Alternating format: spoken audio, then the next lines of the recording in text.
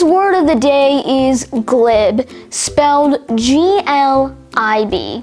Glib. Glib is an adjective which derives from German that means insincere or artificial, as in, the business owner had a glib tongue and could get many offers because of it. Once again, today's word of the day is glib, spelled G L I B. Glib.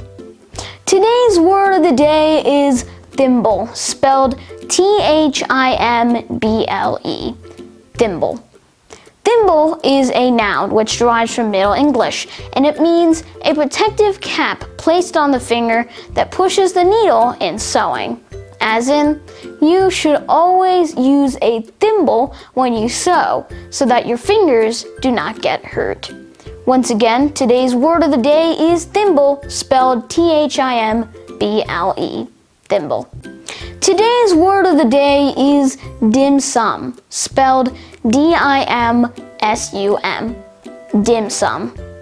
Dim sum is a noun which derives from Chinese and refers to a Chinese light meal that usually consists of dumplings among other foods.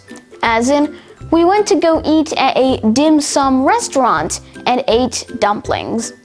Now, the plural form of dim sum is dim sums, and once again, today's word of the day is dim sum, spelled D I M S U M.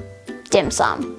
Today's word of the day is Sisyphean, spelled S I S Y P H E A N. Sisyphean.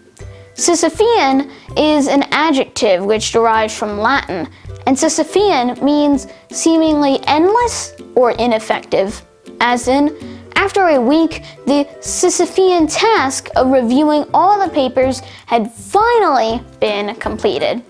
Once again, today's word of the day is Sisyphean, spelled S I S Y P H E A N.